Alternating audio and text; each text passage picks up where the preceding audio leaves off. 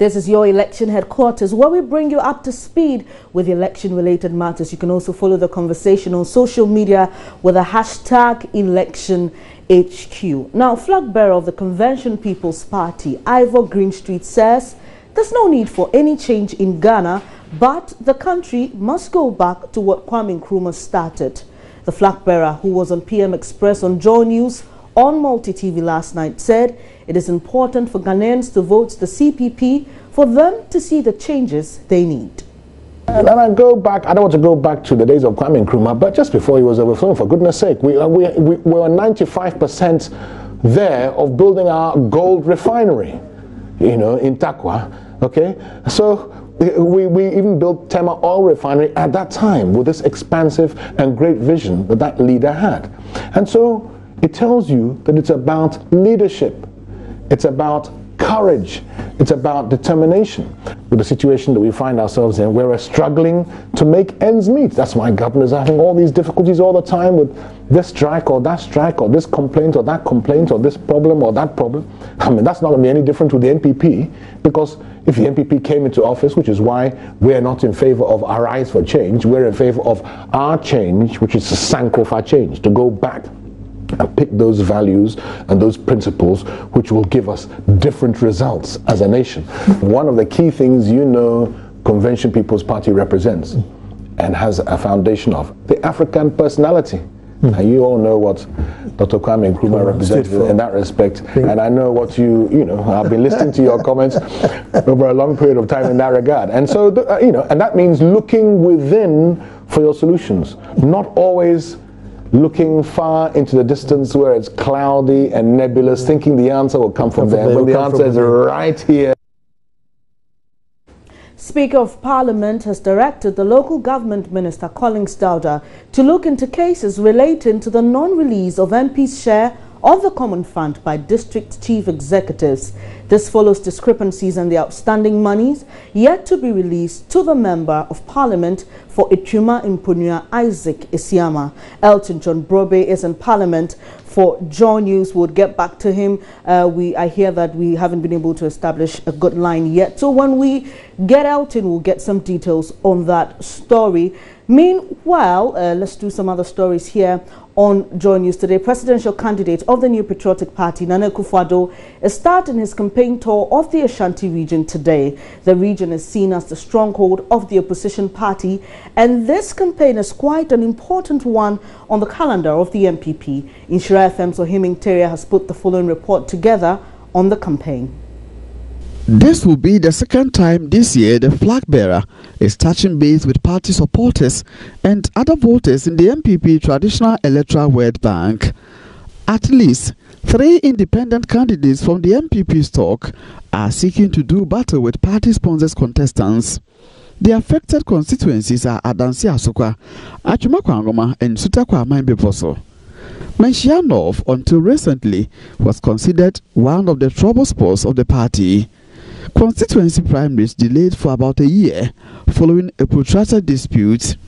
NPP Regional Chairman Bernard Ntwibu also known as Chairman Wontumi, was arrested for assaulting the party's MP for the area, Collins Osamankwa.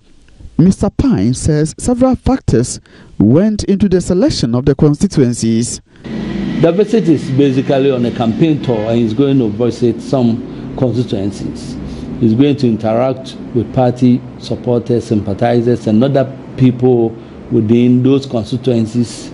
He's going to have interaction with traditional authorities, and he's also going to have interaction with some Zongo communities and opinion leaders in those communities. Um, he'll be here to sell the message of hope, um, what he, he's going to do as regards job creation, I'm looking at the national health insurance, how it's collapsing within the region and Ghana in totality.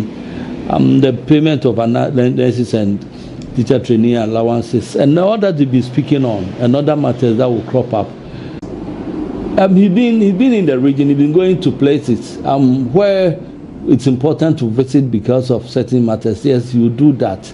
Um, these are areas that we've slated already for him to visit, and um, it could be a reason, but uh, still he was bound to go there, notwithstanding the emergence of an independent candidate or not. So he's going to be in the constituencies to talk to the people and look at all these matters. Meanwhile, Mr. Pine dismisses suggestions Nana Addo's visit is prompted by last Sunday's NDC regional campaign launch.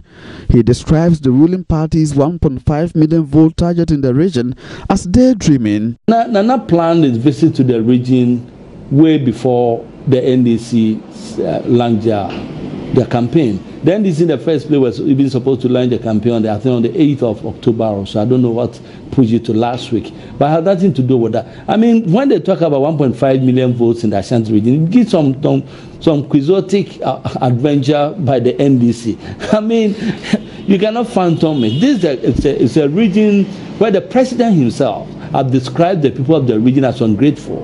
And the NDC goes about touting themselves, we built that, we constructing this, we doing this. If the people are ungrateful, how are they going to be show gratitude for such things. So, in the first place, per the president's own analysis, he's not going to get the votes. Two, coupled with the, um, the, the, the, the effects of the four year uncontrolled doom saw on businesses, people who have lost their lives, people who are breaking under the load of bank loans, people doing um, factories and businesses have collapsed, the people have been made unemployed. My colleague Erastus Asare Donkor is a man on the ground to bring us up to speed with that uh, tour of the Ashanti region by the NPP's flag bearer Nana Akufo-Addo. Well, it was expected that he would have arrived in the region by now. Uh, he will tell us if that is so and where he'll be expected to visit today. Meanwhile, President Mahama is continuing with his five-day tour of the Volta region today. It's day three of his tour. Let's get the latest on this. Ivy Setordji is our reporter following the president. Hello, Ivy. Hello, Ivy. Can you tell us where uh, the president has been so far and where he's heading next? Well, we seem to have a challenge with our lines today. We'll try and raise uh, Ivy on the line again and get some updates here on Joy News. Today, we take a quick break. There's more news after this.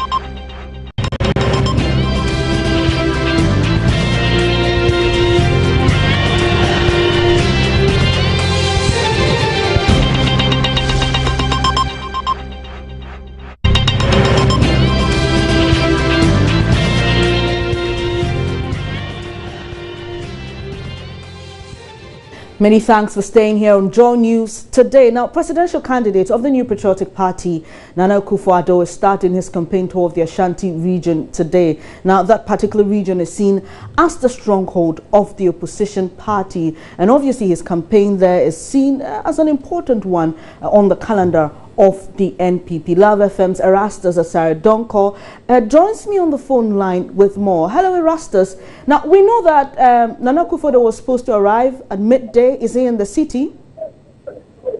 Well, we are still expecting Nana Dankwa Akufo-Addo to touch down. We are at the airport now. Uh, we have quite a number of people here. Um, many of the regional executives are here, and they are led by Chairman Wontumi, the regional chairman himself and uh, they are waiting for him to touch down. Um, he will be going to Buraso uh, from here, and then he will also address a number of speech at uh. In the evening, we are expecting a huge rally at Abuabo uh, within the Aswanti constituency, and that is the itinerary uh, for today. So quite a number of people have gathered here. But when you go to town itself, Kumasi itself, uh, the, the, the, you can see the euphoria um, surrounding his visit. Many people have branded their private vehicles with the NPP colors. Uh, you, you, can find a number of people who are dressed in NPP paraphernalia, uh, and, and, so you anticipate that uh, the, the, he will have quite a following when he touches down. So currently, we are waiting uh, for him to touch down. Erastus, how long is he expected to be in, in the region and is there any plans of meeting supporters in the form of a rally or anything of the sort? Yeah, exactly. He's going to spend four days uh, here and the first of the itinerary is what I told you. There will be a rally at Abuabo in the evening after uh, the 12th day. There will be a rally at Abuabo uh, per the itinerary that I have. And mm. so we are expecting that in the coming days we'll be going to other areas as well. All right, thank you very much, Erastus. That's my colleague Erastus Asare Donkor in the Ashanti region, giving us some updates of uh, the NPP's flag bearer Nana Akufo-Addo's tour of that particular region. Meanwhile, President Mahama is continuing his five-day tour of the Volta region. It's day three today, and uh, we'll get some latest on this from Ivy Setordji. She is our correspondent on the ground. Hello, Ivy. Ivy, if you can hear me, if you can briefly tell us where the president has visited and where he's heading next. Well, Hello. Hi, Ivy. Yeah. Yes, thanks for joining us. Can you tell us briefly where the president has visited today and where he's heading next? Well, the president was at Hohoe municipality. He just uh, finished uh, his rally uh, at the Hohoe municipality. Uh, he's been saying that uh, compensation will be made available to uh, people, persons affected in the riot some few years back between the Gbi and then the Zongo community. And also, uh, he's going to make available farm seedlings and fertilizers so that farmers can have, especially the cocoa farmers, can have access to all these things uh, so that that can boost their farming activities. And also, uh, he's promising the people of the Volta region that the road that they have been complaining about, uh, they are doing, the government is going to do something urgent about it. All he's asking is that they should maintain him, they should vote for NDC again so that he can continue with all the developmental work started by the NDC. Well, we know the General Secretary, Asiedu Nketia, has been saying some pretty interesting stuff there. Can you share with us? Yes, he, he told the people, especially in the Volta region, that if you know you're a resident or your family uh, are in Togo, uh, but they are Ghanaians, it is not a crime for them to cross over when it's time for election, that they should be free and come back home and vote uh, uh, in December 7th. They shouldn't worry about anything because they are Ghanaians. And that should, that, that should not bother them at all. Because being in Togo don't make anyone less a Ghanaian. Mm, and that, those were statements made by uh, Johnson Asiedu Nketia. Thank you very much, Ivy Setordji. Uh, she was bringing us some updates of the president's tour of the Volta region. Let's still stay on the campaign uh, trail. The chief of staff, Julius Debrah, is in the Bono Ahafo region, and Precious Semevo is there for us. Hello, Precious. Now, can you tell us where he is and what he's been saying? Well, We are still on our way to uh, uh, uh Intra in the Wenchi district. That is where day two uh, of the chief of staff, you know, taking uh, him. Now at Intra, he will be inspecting a senior high school at Intra and also have an interaction with the chiefs and people of uh, Intra. Thereafter, he will have a community there at uh, Tubinso and also move to uh, and uh, also inspect a community day school there. But uh, yesterday, uh, the chief of staff uh, on one of uh, his case, he took him to Kintampo North, uh, where they went to uh, Busunya, uh, among other towns that he visited. Now, the chief of staff said that the citizenry of uh, Yefri and then in Kranza showed both and endorse President John Mahama massively, considering the fact that their own,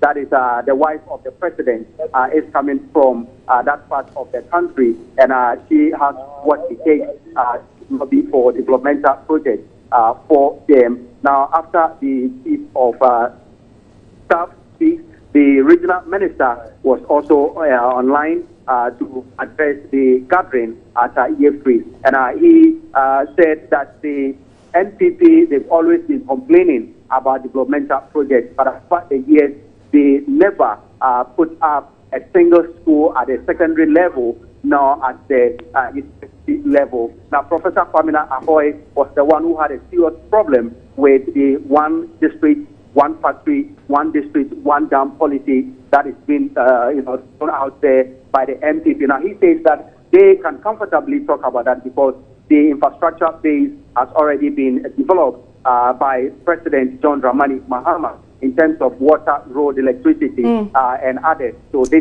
they can comfortably talk about that. But uh, he said that if that is the policy they're talking about, considering a town like Tema and then in Kranza, Tema has a lot of factories there. Are they going to add one factory there and then bring one factory out to Nkranza? Perpetually, the discrepancy in terms of uh, factories in the district uh, would not uh, be helpful. So he believes that they do not uh, have the strategy what it takes uh, to improve the lot of the people. And I'm sure today uh, it will continue. And uh, when we get to our first stop, whatever they say, we'll bring All right. it to our listeners. All right, Precious. Now, we know the Beno Ahafu region, well, the NDC has focused a lot on that region. They launched their manifesto there.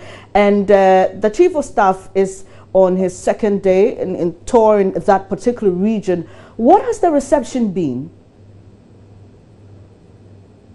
Hello, Hello. Precious. Yes. Yes. What has the reception been from the people of the region? Well, this is the reception. Uh, every hamlet, village, and town that we've been to uh, has been massive. Uh, people are there to welcome the uh, chief of staff and then uh, his entourage. Uh, if you if you talk to them, what they what they say and the feeling you get from them is that they are content and satisfied with the level of uh, development that they have witnessed uh, within their community. Although uh, they believe that a lot more needs to be done and uh, that is why they are rooting and uh, following the NDC and the chief of staff and his team. Thank you very much, Precious. We'll touch base with you later in the day to give us some updates of that particular tour. Now, away from the campaign trail, Speaker of Parliament Edward Doe Adjaho has directed the local government minister, Collins Dauda, to look into cases relating to the non-release of MP's share of the Common Fund by district chief executives. This follows discrepancies in the outstanding monies yet to be released to the Member of Parliament for Atwima Mponua Isaac Asiamah. Elton John Brobe is in Parliament for joining us. Hello, Elton. Hi, Benny. Well, can you tell us more about this particular issue developing? I'm sure you're aware this has been a running issue between members of parliament and district chief executive over the release of their share of the common fund. Usually, the administrator will send the money to the district assembly, and then the MP, in asking for the utilization of the money, will always have to write letters to the district chief executive directing the DCE to release the money to uh, this or that sector to pay for one or two projects. But usually, uh, some of these DCs have been foot dragging in releasing the money to the assembly. So this morning, the member of parliament for Atwima Mponua Isaac Siama uh, asked the local government uh, rural development minister what may have occasioned the delay by the district chief executive of Atwima Mponua in giving effect to a request uh, by him for his share of the common fund to be disbursed for some stated purposes and projects. Now, interestingly, the local government minister in his response says that there is, as far as he uh, is concerned, there is no outstanding payment to be made to the honorable member uh, as far as their, their, their records are concerned. For example, he told Parliament that uh, an amount of 73,000 Ghana cedis was released to him by the District Assembly Common Fund out of the amount. Uh, the Assembly has paid some money to uh, to cover some projects being undertaken by the Member of Parliament. So there is no outstanding money yet uh, to be given to the MP. But the MP countered it by saying that uh, as far as his records also stands, uh, the Assembly has in his account about 45,000 Ghana cedis to be utilized and is requested uh, for the utilization of the money since January to date, but no, you know, effect uh, has been done by the district chief executive. Indeed, this particular concern got some members of parliament uh, uh, to, you know, to contribute to uh, this stalemate between district chief executives and members of parliament in the utilization of the district assembly's common fund. The local government minister, who was relying on correspondence between him and the district chief executive, said that he will have to go back to his office, cross-check the facts as presented by the MP before he can come to, you know, an amicable resolution of the matter. The speaker, uh, a former member of parliament, uh, also contributed and said that, I mean, this is a matter that must be resolved one way or the other. So he directed the local government minister to get in touch with the administrator to, you know, look at how much is outstanding, why some district chief executives are adamant in releasing the money to the MPs for uh, to undertake their development in their constituencies so that this matter can be done with once and for all. All right. The minister has up to uh, next week Wednesday to report back to Parliament on steps being taken to resolve this particular impasse. Thank you very much, Elton. But before you go, we know when uh, the House resumed, there were calls for uh, MPs to report to the House because a lot of them were absent. Any, you know, update on that? for a fact that the situation has not improved. As a matter of fact, as I speak to you right now, they are they, they are considering the local government bill. Uh, this bill is to you know uh, enhance the operations of the decentralization process. But on the floor itself, members of parliament uh, who are contributing to uh, the bill, they are not even up to the one third required for this debate to take place in the first. We don't even form a quorum for business to take place. Mm. We have less than 50 members of parliament on the floor right now. Uh, it appears that the leaders have not been successful in getting their members to come to parliament. Remember that tomorrow is a crucial day because the, the finance minister will have to come before the House and present uh, revenue and estimates for 2017, and Parliament will be called upon to approve for the first three months to enable uh, the government that will come into force after the December 7th election to have money to spend for the first three months. We are waiting to see whether the two-thirds members of parliament required to pass such a resolution uh, will be on hand tomorrow to do mm. justice to the business. But for now, the attendance is still a major issue facing Parliament. All right, thank you very much, Elton John Brobbey. He's, he was bringing us some updates from Parliament. You're watching Joy News today. There are more stories right after this.